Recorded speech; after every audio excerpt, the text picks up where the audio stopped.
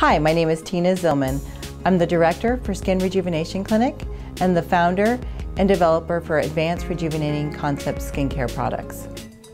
When dealing with sensitive skin, you really need to listen to your clients. When the client tells me they have sensitive skin, there's a couple of things that I look at. Is there any inflammation in their skin? I ask them, do they get flushing or blushing to environmentals or if they drink wine or have alcohol, any spicy foods? Or are they just delicate skinned, sensitive, but not responsive? So they just have redness, but they don't flare up. These are very important questions to ask when you're picking out a peel. How frequently should a sensitive skin have a facial?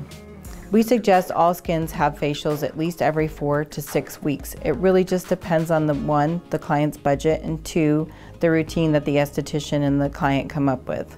Peels for sensitive skin. ARC has a lactic peel, which is very good for sensitive skin.